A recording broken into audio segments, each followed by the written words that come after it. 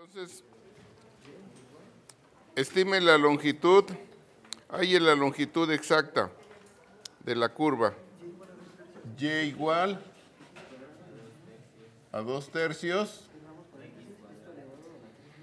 de x cuadrada menos 1 elevado a la 3 medios. ¿En qué intervalo? En 1 menor o igual que x menor o igual que 3.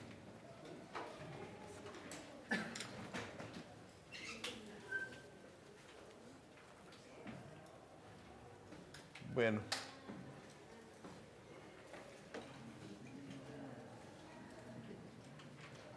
x cuadrada menos 1 es una parábola que abre hacia arriba, ¿verdad?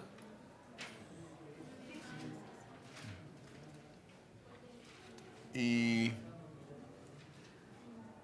y la situación creo que es más o menos así. Por aquí está el 1, digamos aquí está el 3. Entonces, como que va a ser un, un la gráfica va a ser algo así.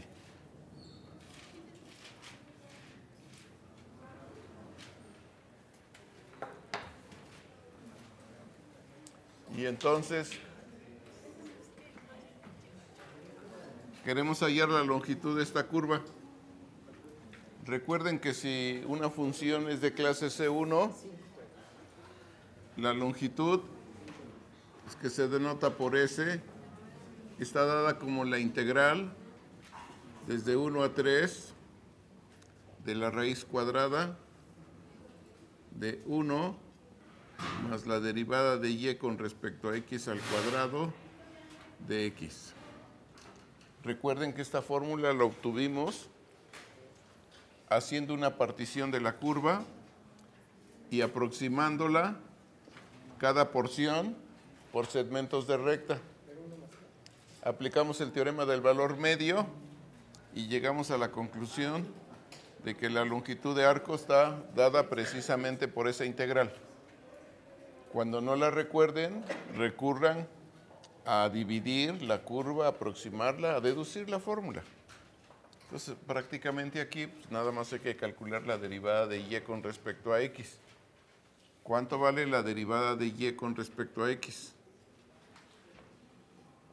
Si y es esto, su derivada es 2 tercios por 3 medios.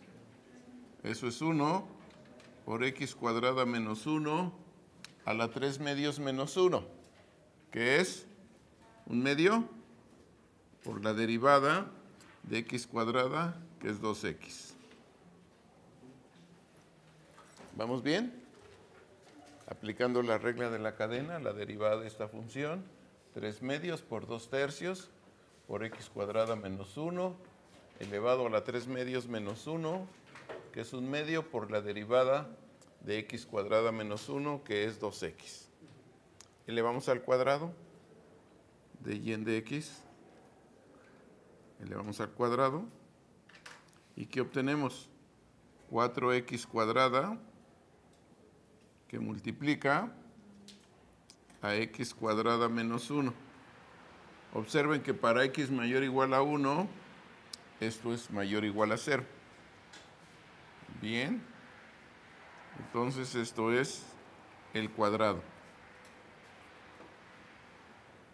Que desarrollando, esto es 4x a la cuarta menos 4x cuadrada.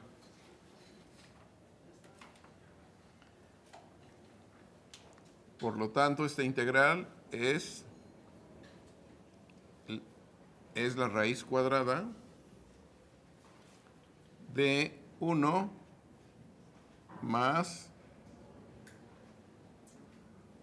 yo creo que mejor ponemos menos 4x cuadrada, menos 4x cuadrada, más 4x cuarta de x.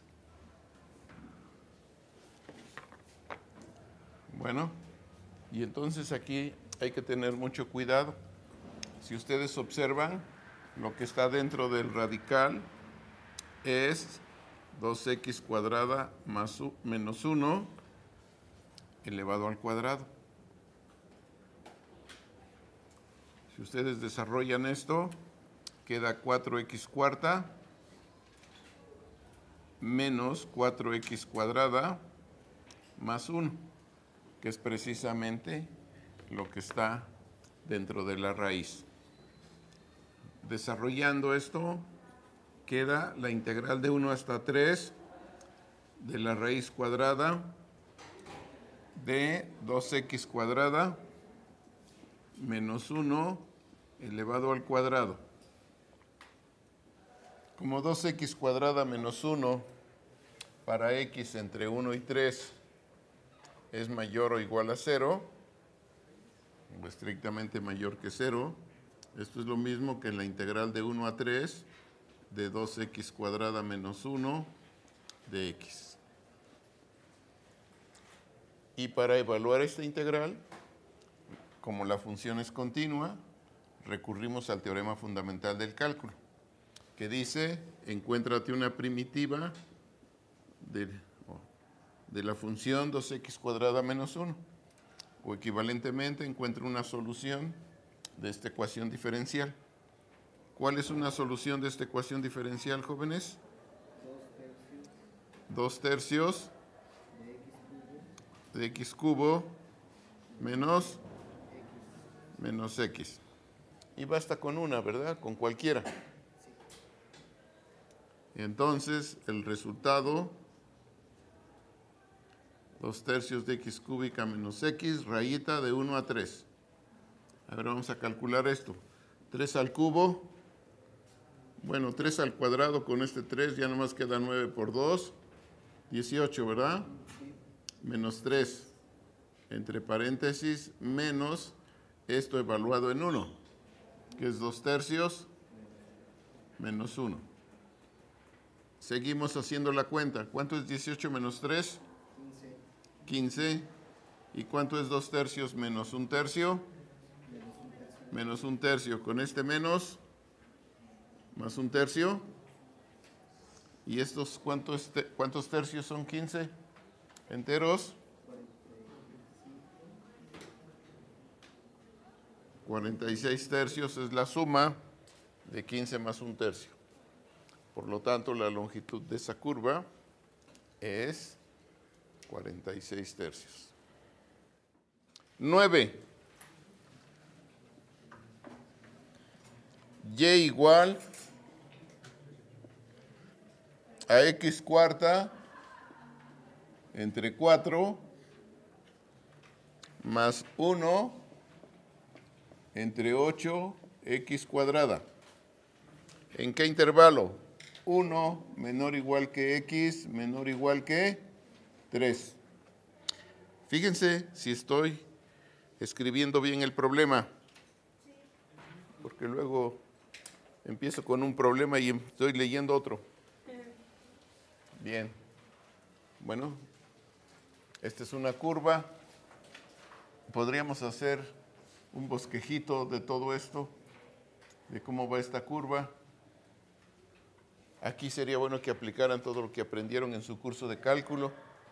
Intervalos donde crece, decrece, máximos y mínimos relativos, concavidad. Todas esas cuestiones que les permiten hacer una gráfica de esta función. O hacer las gráficas de x cuarta entre 4 y luego hacer la gráfica de 1 entre 8x cuadrada y sumar las ordenadas para tener una idea de cómo son las gráficas. Ese ejercicio hay que hacerlo, jóvenes. Ahora, la longitud, en este caso, pues ya sabemos que es la integral. ¿De dónde a dónde? De 1 a 3. ¿De quién, jóvenes?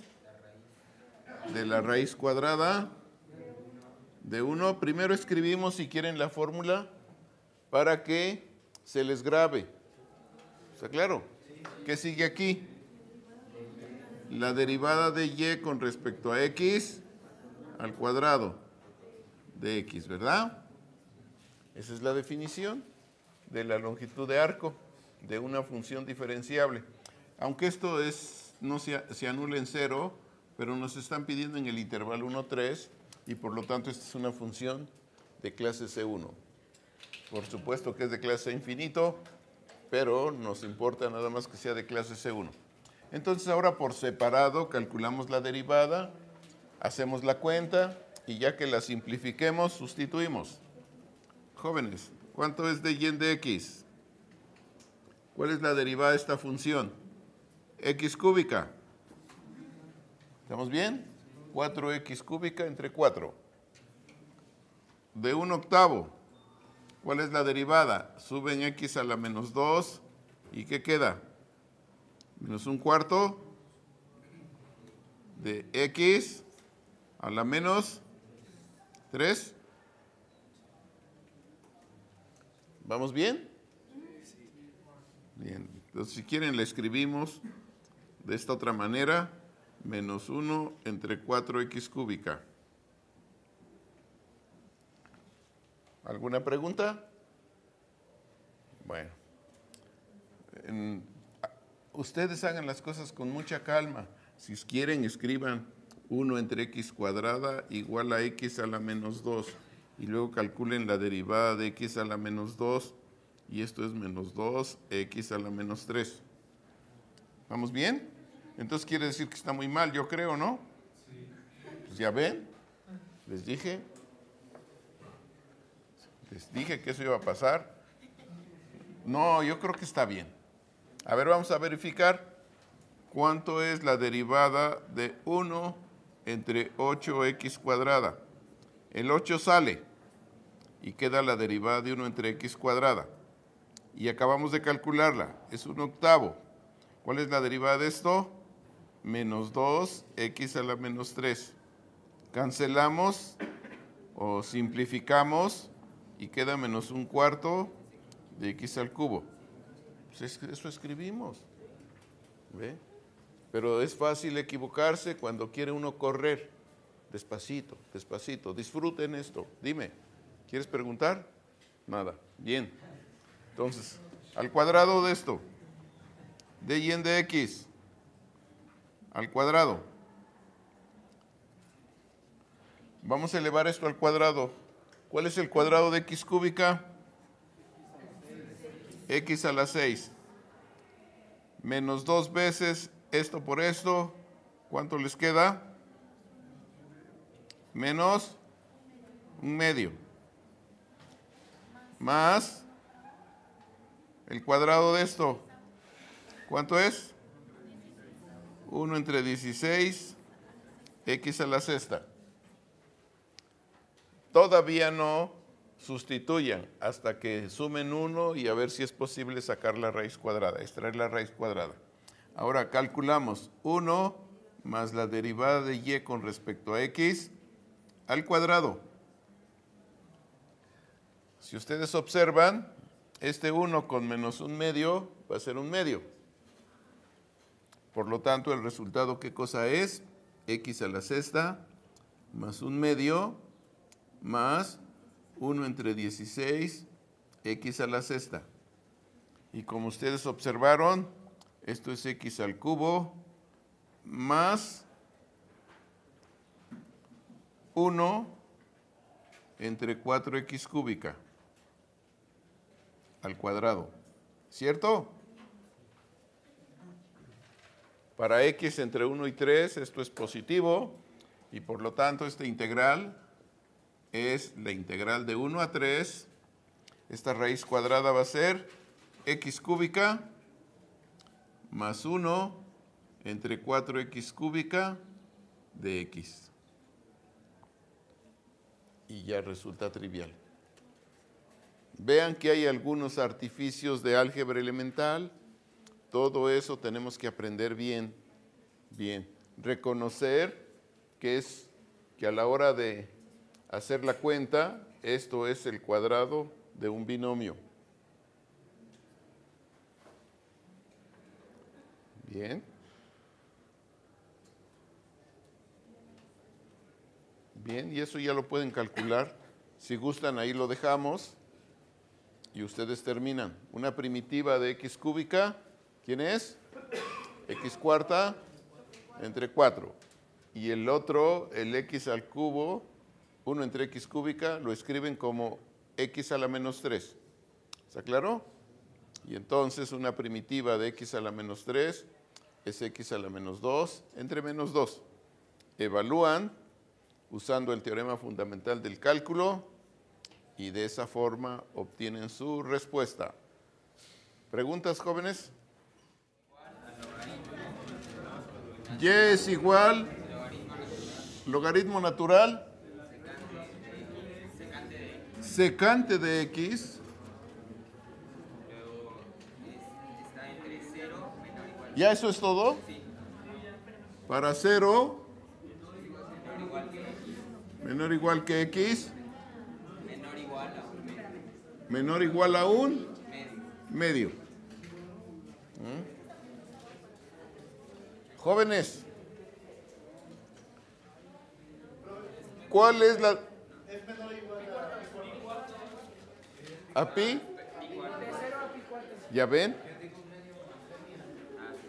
Les dije, participen todos, participen todos. ¿Eh? ¿Así está bien escrito? Bien, bien. Ahora, jóvenes, ¿cómo se define la longitud de arco para cuando tenemos una función de clase C1? No, no, no, ¿cómo raíz cuadrada? Integral, integral. Primero empezamos con integral. ¿De dónde a dónde? De 0 a pi sobre 4. Muy bien. ¿De quién? De la raíz cuadrada de 1 de y en de x al cuadrado de x. Y por separado hacemos las cuentas para que no estén cargando integral, integral, integral. Bien, primero la derivada. ¿Cuál es la derivada del logaritmo de la secante de x? Les recuerdo, la derivada del logaritmo de u, donde u es una función positiva, ¿verdad? Es igual a la derivada de u entre u, la regla de la cadena, donde u es una función de x y esa función es positiva para que tenga sentido hablar de logaritmo. Y si no, pues tendríamos que poner el valor absoluto. Bien. Bien, jóvenes. Espero. ¿Qué espero? Nada. jóvenes, ¿cuál es la derivada de esta función? Vamos a escribirlo como dice el compañero. No tenemos prisa. Si quieren ponemos aquí una X entre entre secante de x. Preguntamos, ¿la secante de x se anulará entre 0 y pi sobre 4? No sabemos. Tenemos que aprender a hacer esos análisis. ¿Qué tal si estamos dividiendo entre 0? Entonces tenemos un problemón. Si no sabemos hacer la gráfica de la secante de x, tenemos que recordar cómo se define secante de x. 1 entre coseno de x. A ver, ¿y cómo es la gráfica de 1 entre coseno de x? A ver, en el intervalo 0 pi sobre 4. A ver, aquí estamos. Coseno de 0. Circulito, su mente en el círculo. ¿Se aclaró? Coseno de 0, la abscisa rápidamente. ¿Qué es 1? Coseno de pi sobre 2. Están arriba es cero. Entonces ya la gráfica sería hasta acá. Pero como no nos dicen en pi sobre 4, esperamos que esto sea pi sobre 4. ¿Está bien? Esto es pi sobre 2. ¿Cómo es el coseno en el intervalo 0 pi sobre 4? ¿Cómo es? ¿Cómo ven? Positiva, la ven arriba del eje de las X. Bueno, a lo mejor no la ven arriba del eje de las X porque no le puse X. ¿Está bien? Ahora sí, ¿cómo ven el coseno de x en el intervalo 0 pi sobre 4? Arriba del eje de las x. Muy bien. Entonces, uno entre coseno de x estará bien definido. Sí. sí. Acuérdense que el logaritmo, el logaritmo no nos importa por el momento, ¿verdad? No nos importa por el momento. Bien, pero habría que describir más o menos la gráfica de esa función. Vamos a terminar con la derivada. ¿Cuál es la derivada de la función secante de x? Secante por tangente. Todo eso lo tienen que saber bien, jóvenes. Esto es muy elemental. Dividido entre secante de x. Como la secante de x es diferente de cero, podemos simplificar y el resultado es tangente de x. Ármense de valor y dice, yo sé, yo, yo puedo, yo puedo. Por lo tanto, la derivada de y con respecto a x al cuadrado, ¿cuánto es, jóvenes? Si la derivada de y con respecto a x es tangente, ¿qué es su cuadrado? Tangente cuadrada. Por favor, preguntas muy elementales. Ahora sí, hacemos la cuenta de adentro. 1 más tangente cuadrada. ¿Cuánto es 1 más tangente cuadrada?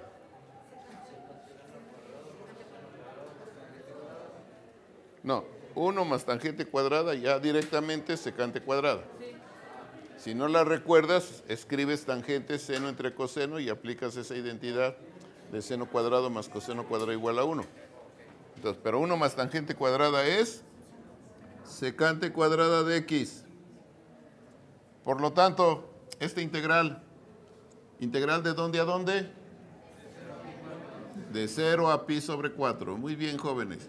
De la raíz cuadrada de la secante cuadrada de x, de x. ¿Cómo es la secante en el intervalo 0 pi sobre 4? Positiva. Por lo tanto, la raíz cuadrada, ¿a qué es igual? A la secante de x nada más. ¿Sí? Integral. Integral de 0 a pi sobre 4 de x. Y una primitiva de la secante de x. ¿Qué creen que sea una primitiva de la secante de x? No. Eso quiere decir que aquí ya empezamos a tener un poquito de, de, problemitas y por lo tanto conviene, después de este examen, empezar con algunos métodos de integración. Todavía son integrales que se pueden calcular fácilmente.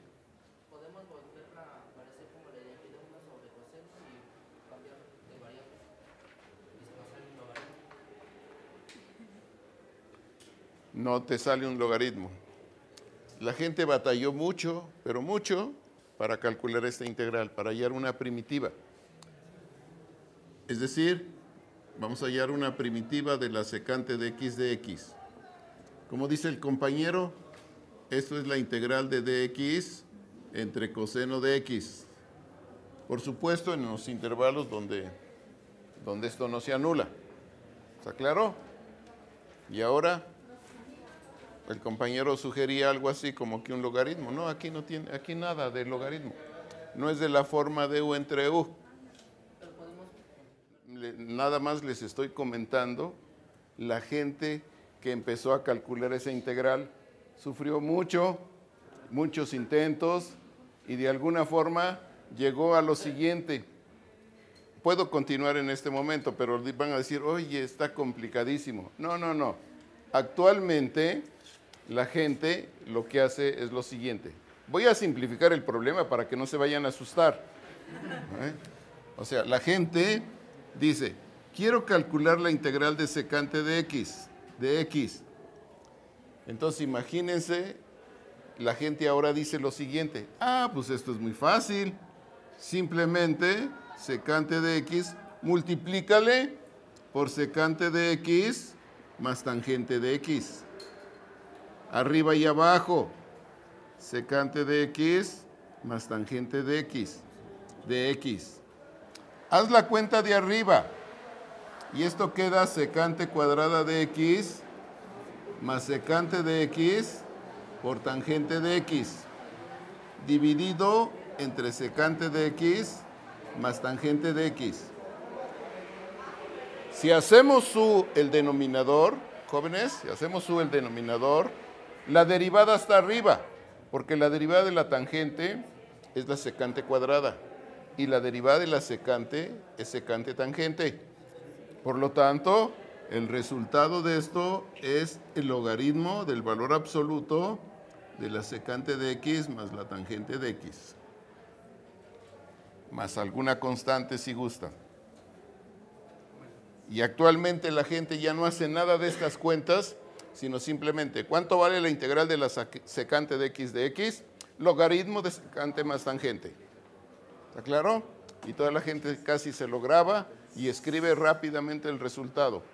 Pero si nos preguntamos cómo llegaron, cómo se les ocurrió que había que multiplicar por secante de x más tangente de x, pues les estoy haciendo una descripción de todo lo que hicieron estas gentes.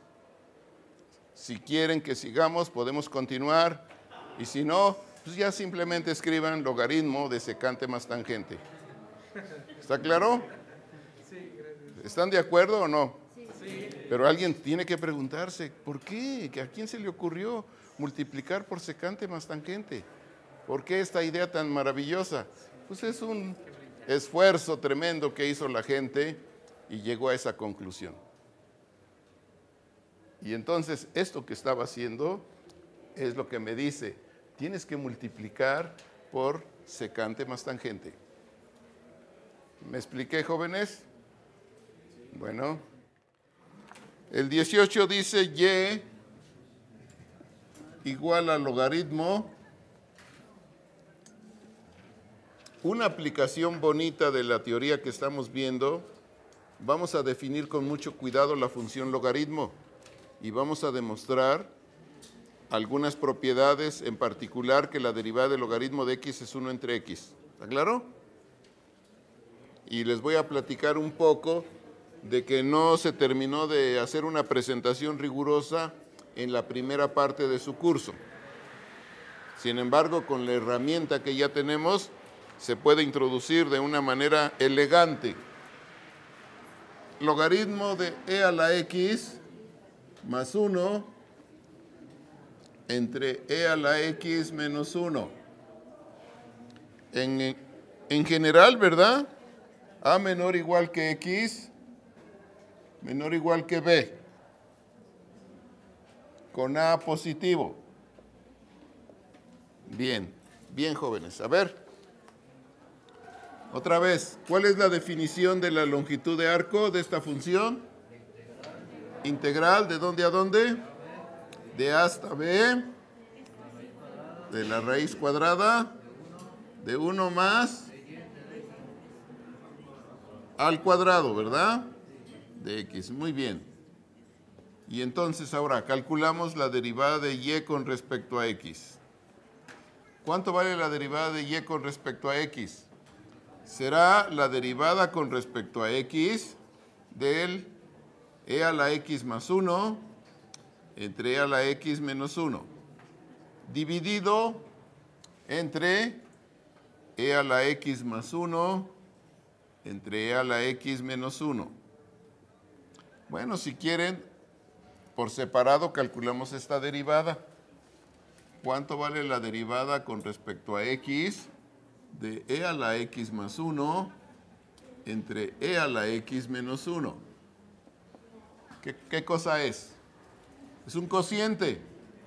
El denominador por la derivada del numerador, que es e a la x. ¿Qué sigue? ¿Más o menos? menos el numerador por la derivada del denominador, que es e a la x, entre el denominador al cuadrado. Muy bien. Hagamos esta cuenta.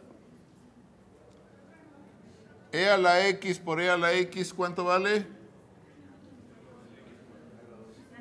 e a la 2x menos e a la x. Estoy multiplicando menos e a la 2x menos e a la x entre e a la x menos 1 al cuadrado. Aquí simplificamos y se cancela este término. Estos términos se cancelan.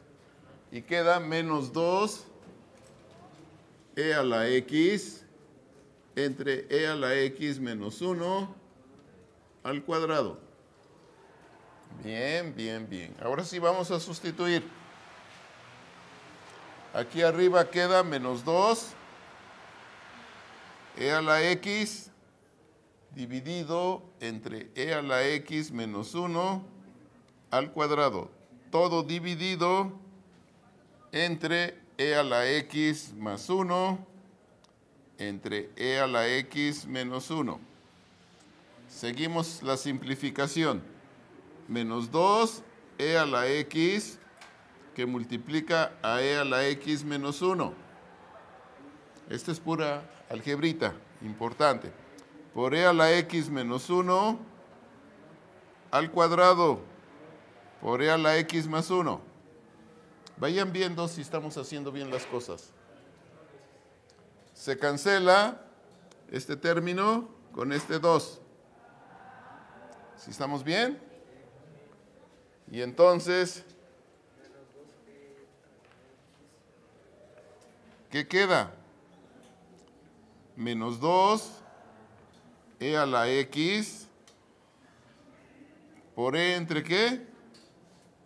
e a la 2x menos 1,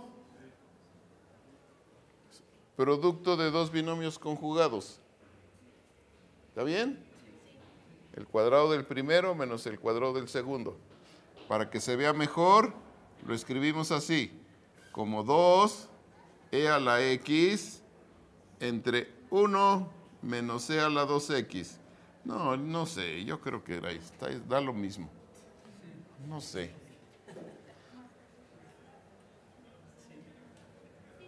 ¿Y ahora qué hago? Bueno, estarán de acuerdo que esa es la derivada. Vamos a elevarla al cuadrado. Vamos con calma. Y luego le sumamos uno. Vamos a ver. No sé si conviene hacer esto que hice aquí, pero se intenta. Bien. A ver, ¿cuál es el cuadrado de la derivada? Jóvenes, ¿cuánto vale este cuadrado? 4 e a la 2x entre menos c a la 2x al cuadrado. Y ahora sí, vamos a calcular 1 más esto. 1 más la derivada de y con respecto a x al cuadrado. ¿A qué es igual? Escribimos 1 más 4e a la 2x entre 1 menos e a la 2x al cuadrado. Hacemos la cuenta. Queda denominador común 1 menos c a la 2x al cuadrado. Esto multiplicado por 1, ¿cuánto vale el cuadrado de esto? 1 menos 2c a la 2x más e a la 4x, ¿sí? más 4 e a la 2x. Este 4 con este menos 2 da 1 más 2 e a la 2x más e a la 4x dividido entre 1 menos e a la 2x al cuadrado. ¿Qué ven en el numerador? Un binomio al cuadrado. ¿Cuál binomio?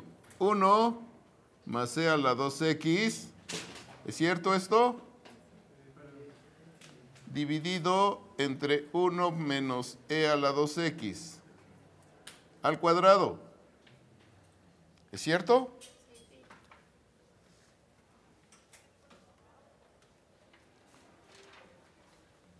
Por lo tanto, es la integral de hasta b de quién? La raíz cuadrada de eso. ¿Cuánto será? 1 más e a la 2x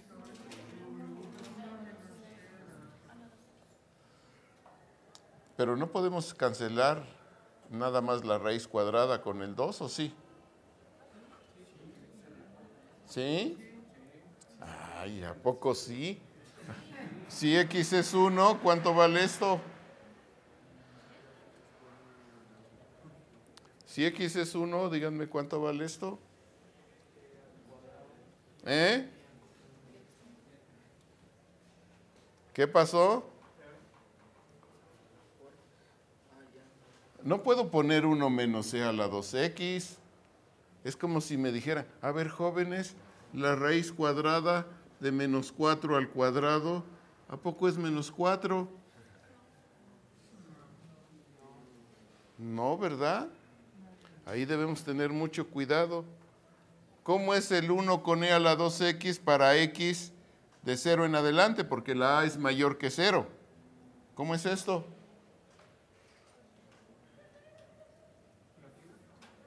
A ver, jóvenes, una pausita. E a la 2x, su gráfica es así. Esto es 1. Para mayor que 0, ¿cómo es esta diferencia? 1 menos e a la 2x. ¿Eh? Esto, esto es negativo. ¿No? ¿No lo ven aquí? Miren, aquí está el 1. 1 menos esto, negativo. Entonces, ¿qué debo poner? E a la 2x menos 1. O poner valor absoluto. La respuesta correcta aquí de esto es valor absoluto. ¿Está claro? Y entonces, si estoy diciendo que es positivo, para x mayor que 0, entonces el valor absoluto debe ser el negativo de lo que está aquí. Y si es el negativo, entonces debe ser e a la 2x menos 1 de x. Jóvenes, ¿me van siguiendo? Bien, bien, entonces ahora vamos a calcular una primitiva de esta función de 1 más e a la 2x entre e a la 2x menos 1. Vamos a ver. Deben tener paciencia y, muchas ganas de resolver ejercicios. ¿eh? A ver, la, podemos dividir en dos. Por ejemplo, esa integral de hasta B, acuérdense que la integral es aditiva, 1 más e a la 2x entre e a la 2x menos 1 de x. ¿Estarán de acuerdo que esto es la integral de hasta b de 1 entre e a la 2x menos 1 de x más la integral de hasta b de e a la 2x entre e a la 2x menos 1 de x. ¿Me van siguiendo? Bien, bien, bien. Ahora, jóvenes, ¿cómo hacemos esta integral? ¿Cómo hacemos esta integral? ¿Cómo hallamos una primitiva? Tenemos que aprender el método de sustitución. Si hacemos u, en la parte de abajo, entonces la derivada casi está arriba, excepto por un 2, pero eso no causa problemas. Y entonces va a ser un múltiplo de logaritmo de e a la 2x menos 1. ¿Me van siguiendo? Ya no, o ya no. Si ya no me van siguiendo, yo creo que lo que conviene es que les platique algo sobre el método de sustitución. Pero ya casi estoy dejando muchas cosas a medias. Esto, esto, pero se requiere. Me parece interesante dar un curso de esta manera, en donde vamos a ver un método porque hay una necesidad de resolver una primitiva, de calcular esta integral. y eso ya no es tan inmediato. Se requieren de algunos métodos. Entonces conviene ver, por ejemplo, aquí el método de sustitución. Entonces yo creo que el examen tiene que ser el miércoles. Bien. Por favor, traten de terminar esto y hacer muchos ejercicios de, los, de las secciones que les dejé para que el viernes les platique algo sobre el método de sustitución.